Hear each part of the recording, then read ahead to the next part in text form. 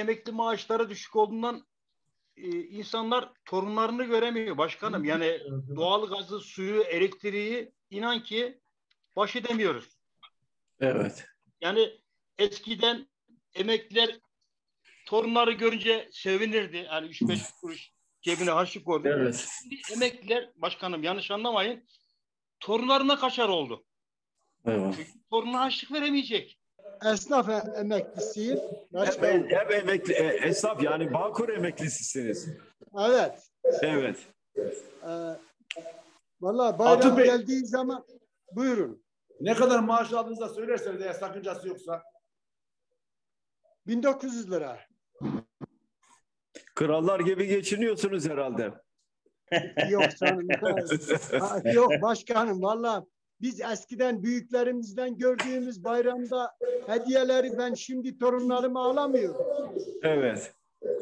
Alamıyorum yani. Yetmiyor ki. Bu koşullarda ne kadar e, bayram olursa o kadar bayram yapmaya çalışacağız ama ülke gerçekten şu anda bir kaos içinde başkanım. Evet. E, e, Konya'da faturalar, ev kiraları, taksitler inanın olanağı yok. Enflasyon yüzde on yedi, yüzde on altı diyorlar. Yüzde, enflasyon bize göre yüzde kırk. Evet. Bir hafta aldığını bir hafta sonra alamıyorsun başkanım. Evet. Siz e, kaç aylık alıyorsunuz emekli aylığı? 2600 lira alıyorum. Sigortadan 2600. emekliyim başkanım. Ülke normal değil başkanım. Evet. Normalleştireceğiz Türkiye'yi inşallah. Normalleştireceğiz. Ben Bursa'dan Yıldız Yeşiltaş. Bursa Tüm Emekliler Sendikası'nda yönetimdeyim. 2400 lira maaş alıyorum. Açlık sınırının altında şu anda yaşamı sürdürmeye devam ediyoruz. Ağustos'ta oğlumun bak düğünü var, düğünü yapamayacağım.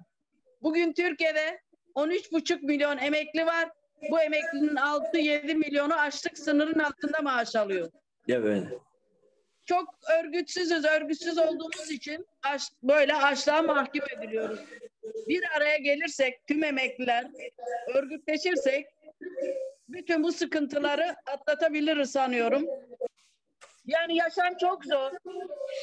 Biz gençken çalıştık, emekli olalım. Emekli olduktan sonra ülkemizi gezelim. Ülkemizin tarihi yerlerini gezelim ama maalesef bırakın tarihi yerleri gezmeyi kendi memleketime gidemiyoruz. Sorunlarımız çok. Yani gerçekten geçinemiyoruz. Çocuklarımıza e, harçlık veremiyoruz ya da ne bileyim ihtiyaçlarını gideremiyoruz. Şimdi ben bu açlık e, sınırının altında olan asgari ücretinde daha da altında maaş alan biriyim. Dün düşündüm dedim asgari ücretle benim fark ne diye. 732 lira çıktı. Ya bir de bana büyük bir rakam gibi geldi. Evet. Yani kendi e, çok üzüldüm. Böyle bir travma yaşar gibi oldum. Şimdi bizim e, bağımsızlığını kaybetmiş TÜİK'in sepet içindeki küçük hesaplarla esas enflasyonun altında daha düşük enflasyon gösterip zaten yerle bir olmuş maaşımızın daha da e, perişan hale getiriyor. Biz şimdi emekliler olarak ay sonunu getiremiyoruz. Evet. Getiremediğimiz için çocuklarımızdan destek almak durumunda kalıyoruz. Bu bizi rencide ediyor. Çünkü biz torunlarımıza hediyeler almak istiyoruz. Sadece bunun dışında değil. Bir de 25 yaşını aşmış veya aşmamış, okumamış gençler işsiz kaldığı için emekli ailelerinden e, para almak durumunda kalıyorlar. Dışarılarda çay içemedikleri için. Hele pandemide hiç işsizlik oranı arttı. Ben Antbirlik'ten emekli oldum. Ee, şimdi hiçbir fabrika kalmadı. İş alanı ve Evet. iş alanı imkanları yok. Gençlerimiz için gerçekten çok zor günler bekliyor. Burada geçinmeye çalışıyoruz. Ben kendim emekliyim. Kızlarım var benim iki tane. Eşim 2011 yılında vefat etti. Kızlarım şu anda bu pandemiden dolayı oteller kapalı biliyorsunuz. Evet. E, Çalışamıyorlar. Hayat pahalılığı çok zor. Emeğimizin karşılığını istiyoruz. E, Bizden alınan vergilerin karşılığını istiyoruz. Ben de yeni bir emekliyim, 4 yıllık bir emekliyim. Maalesef Evet. bu emekli maaşları o kadar az ki bununla geçinmek mümkün değil. Şu anda kiracıyım da zaten.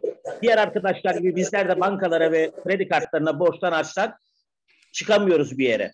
Bu yapılan e, bayram ikramiyesine zam mı? Hani devede tutmak mı diyeyim, mikroskopla mı bakalım, nasıl bakalım onu da bilmiyorum. Yani çok komik, insanın aklıyla dalga geçer gibi 100 lira çıkartıp para veriyorlar. Sizden istirhamım, hükümete inşallah geldiğinizde, önce ben emekli devlet memuru olarak şunu söylüyorum. Ben devlet memurlarının en sonundayım. Yani e, nasıl diyeyim, üç ek göstergeyi alamayacak kişilerden biriyim. Evet. Bunun için gerekli işlem yapılmasını, bir de enflasyon oranında emeklilere gereken zammın verileceğine inanıyorum. Kanaatindeyim. Sizden Evet. istirhamım emeklilerin sesine öncelikle ama her şeyden önce şu gençlerimize bir iş, sonra biz emeklilere. Benim de çocuğum var, evde oturuyor yanımda kızım. Evet. Üniversite bitirdi ama işsiz. İki sene önce emekli oldum. Şu an 1730 lira emekli maaşı alıyorum. 1600 lira ev kiram var. Hayatımdaki en büyük idealim neydi biliyor musunuz genel başkanım? Emekli Evet. olduktan sonra eşimle beraber bir sahil kasabasına gidip rahat ve huzur içinde yaşamaktı. Ama bırakın huzur içinde yaşamayı herhalde biz bu gidişle açlıktan öleceğiz virüsler olmasa bile. Evet. Ee, son yapılan zamlarla benim maaşım 1730 lira oldu. Maaş zamlarını neye göre yapıyorlar? Yani bunu anlamış değilim. Enflasyon sepetinde e, olan şeylerin dört tanesini baz alarak zaten bize zam yapsalardı e, bu 8.36'nın üstüne çıkar. Doğalgaz, elektrik e, zaten gelen zamlarla maaş gitti. E, yani nasıl olacak bu iş? Nasıl dönecek bu devran? E, şöyle bir şey de değinmek istiyorum. Benim eşim de emekli. Benim maaşım olduğu gibi kiraya gidiyor. Eşim de 1900 lira maaş alıyor. E, İstanbul'da, Beykoz'da oturuyorum. E, evim kira. Ve ben burada ucuz olduğu için oturuyorum. İnanabiliyor musunuz? 1600 lira kiram var. Evet. Lüks bir evde oturmuyorum. 60 senelik bir bina. Yazın e, yine bir nebze domates alıyoruz, ekmek alıyoruz, karnımızı doyuruyoruz. Ama kışın e, doğalgaz faturası ödem, öde, yani ödemek bize zulüm geliyor. 600 liradan aşağı doğalgaz faturası ödemiyorum. 250 liradan aşağı elektrik faturası ödemiyorum. Yakmasan olmuyor. Biz emekliler onurlu gururluyuz. Onun için yetmiyor diyemiyoruz. Evet. Kıyıda köşede olanlarımız bitti. Yaşa takılan çocuklarımız var. İşsiz olanlar var. Çarşı pazar kısalım bir şekilde ama faturaları ödemeden yapamıyoruz. Bu yüzden e, hep aynı mücadeleyi vermeye çalışıyoruz. Sayın Genel Başkanım, 1800 lira emekli maaş alıyorum. Çok para. Harca harca bitmez. 600 lira ev kirası veriyorum. 1200 lira kredime kesiliyor. Çalışmak zorundayım. iş bulamıyorum. Sayın Genel Başkanım, nasıl yapacağız bu işi? Nasıl geçineceğiz başkanım? Evet. Çok zor. 1100 lira, 100 lira emeklilere e, şey verdiler, dalga geçer gibi. Ee, bilemiyorum bu 100 lira. Şimdi benim çocuğum bile kabul etmiyor 100 lira harçlığı. Dalga geçer gibi 100 lira ikramiye verdiler. Yani bizimle dalga geçiyorlar başkanım. Evet. Bunun için artık biz e, bıktık bu işlerden. Emekliyiz ama emekliyoruz başkanım. Emekliyoruz. Emekliye emekliye bu dünyadan herhalde ölüp gideceğiz. 6 milyon 6 milyon e, EYT'li yarattılar. Şimdi bu arkadaşlar 50 yaşına gelmiş. Özel sektöre gidiyor. Özel sektörde iş bulmaları mümkün değil. Adam el arabasının üzerinden meyve satıyor, sebze satıyor. Geçimini sağlamaya çalışıyor. Bir diğer tarafta sağlık güvenceleri yok. Sağlık güvenceleri yok.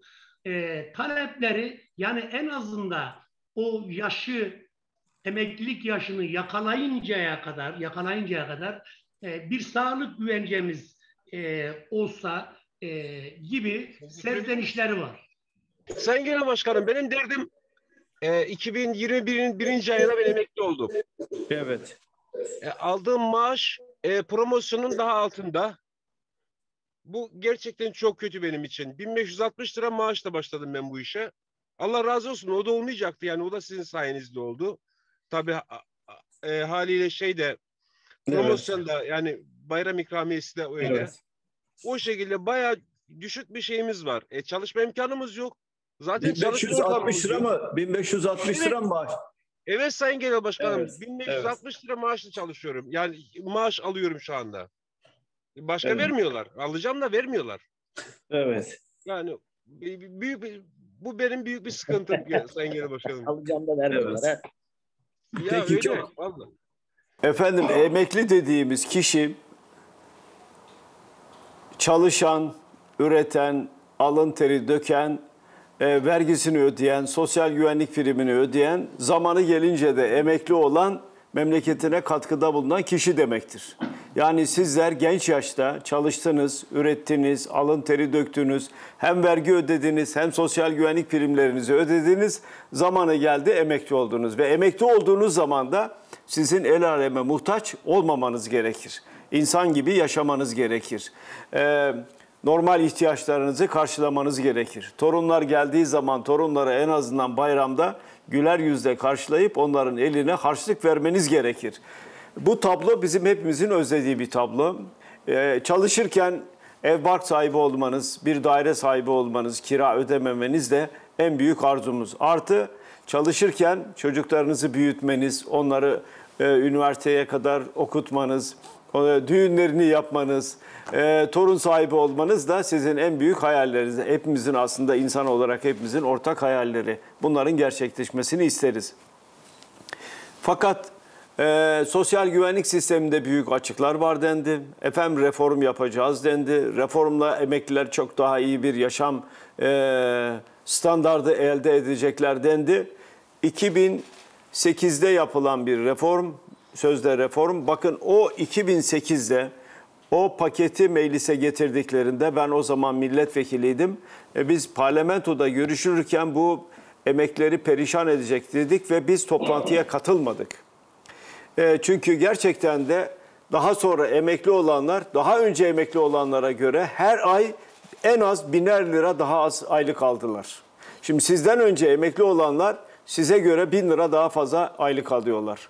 Dolayısıyla bu tablo sizin de bizim de kaldıracağımız bir tablo değil. Sosyal devletin hak ettiği bir tablo değil. Sosyal devlet emeklinin yanında, fakirin, fukaranın yanında e, duran devlet demektir. Herkesin insanca yaşamını e, sağlayabileceği, kurabileceği bir devlet demektir. Bunu amaçlayan devlet, sosyal devlet diyoruz. E, eskiden bir emekli arkadaşımız söyledi. Eskiden dedim torunlarımız gelirdi bayramlarda kucaklaşırdık onlara harçlık verirdik. Şimdi emekli torundan kaçar hale geldi diye. Evet o, o noktaya geldi. Emeklilere iki maaş ikramiyeyi boşuna söylemedim. Emekliye iki maaş ikramiye bu toplumun emekliye olan borcudur aslında. Yani 83 milyon kişi e, birlikte bu güzel ülkede yaşıyoruz. E, 10 milyon üstünde emeklimiz var ve hepimiz eğer bugün daha iyi bir yaşam standardı yakaladıysak o emekliler yüzünden yakaladık. Dolayısıyla o emeklilere en azından iki bayram birer maaş ikramiye verilmesi gerekiyordu. Biz birer maaş ikramiye verilsin diye bütün meydanlarda bunu dile getirdik. Ama vere vere işte 1500 lira emekli maaşı veriyoruz dediler. Kanuna da 1500 lira yazdılar ki kimse artırmasın. Sonunda biz bunun da üzerinde de ısrarla durduk. E, dedik ki emekliye veriyorsunuz e, e, bin lira aylık affedersiniz bin lira ikramiye veriyorsunuz. Bari bunu o tarihten bu zamana kadar enflasyon oldu. Bu enflasyonu da dikkate aldığımız zaman bin lira e, ikramiyenin en az 1500 lira olması lazım diye ifade ettik. E, onu da getirdiler e, 100 lira verdiler. Biz 1500 lira beklerken 1100 lira emekli aile verdiler. Tabii bu emekliyle dalga geçmek gibi bir şey. Emeklinin aklıyla e, oynamak gibi, alay etmek gibi bir şey. Bunlar çarşıya çıkmadıkları için, pazara çıkmadıkları için, alışverişe çıkmadıkları için hayatı bilmiyorlar. Çünkü oturdukları saraylarda bir sorun yok. Ekmek var, her türlü imkan var, her türlü yiyecek yiyecek var. Bir elleri yağda, bir elleri balda. Emeklinin nasıl yaşadıklarını da bilmiyorlar tabii. Bilmedikleri için herhalde diyorlar bin lirayı bin yüz lira yaparsak bunlar rahat e, geçinebilir e, diye düşünüyorlar. Hayat öyle değil. Benim e, sizden bir isteğim var. Bütün emekli kardeşlerimden bir isteğim var. Çok parçalı bir yapınız var. Çok fazla dernek var. Ve dolayısıyla her bir dernek çok farklı tellerden açıklamalar yapıyor. Bir araya gelmeniz lazım. Bütün emeklerin bir araya gelmesi lazım ve hep beraber emeklerin haklarını savunmaları lazım. Şimdi iktidara yakın olan emekler de var. Onları şikayet etmiyorlar. Az önce Konya'dan katılan arkadaşım dedi. Emekli kahvesine gidiyorum dedi. Ya ben geçinemiyorum, lafını bile edemiyorum dedi. O zaman tablo ne tablodur bu? Nasıl bir tablodur bu? O zaman Konya'da yaşayan bütün emekliler çok iyi durumdalar. Onların hiçbir şikayeti yok. E peki Türkiye'nin diğer illerinde yaşayan emekliler peki onların durumu nedir? Onların tablosu nedir? Az önce bir kardeşimi söyledi. 1600 lira galiba alıyorsunuz ee, ya da 1600 lira e, kira ödüyorum dedi. 1700 lira emekli aile alıyorum dedi. Evet 1700 lira emekli aile alıyorum 1600 lira kira ödüyorum. Eşi emekli olmasa hiç geçinemeyecekler. E bir de emeklerin çocukları var. Üniversiteyi bitiren çocukları var. Askerlik yapıp gelen çocukları var. Onlar da işsiz. Onlar da emekli olan anne ve babanın eline bakıyorlar. Türkiye bunu hak ediyor mu? 21. yüzyılın Türkiye'si bunu hak ediyor mu? Saraydan bu tablo görünmüyor. Bu tablo meydanda olan, sahada olan, sokakta, caddede, meydanda olan kişiler tarafından görülüyor. Biz görüyoruz bu tabloyu. Bu tablo bizim kaldıracağımız bir tablo değil. Bu tablo Türkiye'ye onur kazandıracak bir tablo değil. Türkiye'de herkes huzur içinde yaşarsa, herkes geçinebilirse, biz herkes krallar gibi geçinsin demiyoruz ama herkesin asgari bir geçim standardının olması lazım. Bunu sağlamak gerekiyor. Bu konuda mücadele etmek gerekiyor. Doğrudur. Bakın dul ve yetim aylıklarından söz etmedik daha. Dul ve yetim aylıkları çok daha düşük. Oradaki insani dram çok daha derin. Bunun da düşünülmesi lazım. Yani Türkiye'nin geldiği nokta maalesef bu. Emekliye gelince para yok diyorlar. Ama beşli çeteye gelince dolarlar akıyor. Milyar dolarlar akıyor. Orada hiçbir şey yok, hiçbir sınırlama yok. Her türlü imkan sağlanıyor. Siz emekli aylığı alıyorsunuz ama aldığınız her şey dolayısıyla ayrıca vergi de ödüyorsunuz. Elektrik tüketirken de, doğalgaz tüketirken de, çarşıda, pazarda alışveriş yaparken de ayrıca vergi ödüyorsunuz. Ama yurt dışında milyarları olanlar Türkiye'ye getirdiklerinde 5 kuruş vergi vermiyorlar. 5 kuruş bile. Bu kadar adaletsiz bir ülkede yaşıyoruz. O nedenle bütün emeklerin beraber olması lazım. Bakın Sosyal Güvenlik Kurumu'nda eskiden emekli temsilcisi yoktu. Ben genel müdür olduğum zaman dönemin bakanı getirdi ve emeklilerin Sosyal Güvenlik Kurumu'nda temsiline imkan sağladı. Sizin bir temsilciniz var. Sosyal Güvenlik Kurumu'nda. Sosyal Güvenlik Kurumu'ndaki sizin temsilciniz sizin haklarınızı yeteri kadar savunuyor mu? Sendikalar, emeklilerin haklarını, çalışan emeklilerin haklarını yeteri kadar savunuyorlar mı? E tek başına ben savunacağım. E tek başına her şeyi ben mi yapacağım? Bütün bu yükü benim sırtıma mı yıkacaksınız? Beraber olmamız lazım. Birlikte olmamız lazım. Onlar da sizin hakkınızı savunacak. Ben de sizin hakkınızı savunacağım. Birlikte savunacağız. Birlikte olursak o zaman güç ortaya çıkmış olacak. Birlikte olursak o zaman sizin haklarınızı savunma konusunda çok daha kararlı bir tutum sergilemiş olacağız. Bunlar önemli. Efendim e, aylıklara zam, enflasyon oranında zam. Enflasyon oranında zam yapmıyorlar ki. Bunlar enflasyonun kaç olduğunu bilmiyorlar ki. Şunu isteyin, Allah aşkına şunu isteyin.